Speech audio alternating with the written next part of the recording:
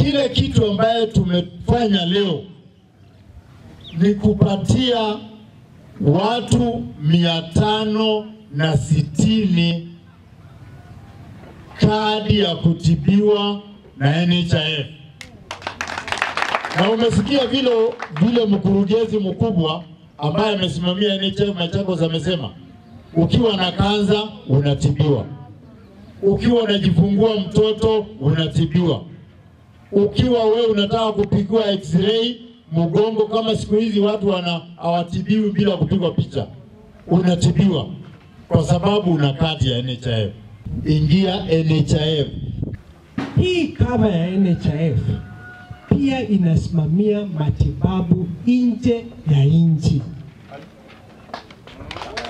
Kweli inasimamia matibabu nje ya nchi yenye daktari ameangalia, Ministry of Health wameangalia na wamepata hakika hatuna uwezo wa kutibu huyu mtu. Unafuata procedure, unaandikiwa barua kutoka kwa Ministry of Health, inakuja kwetu, tunakuconnect na mahospitali zenye ziko nje na tunakulipia kiwango kizuri cha pesa.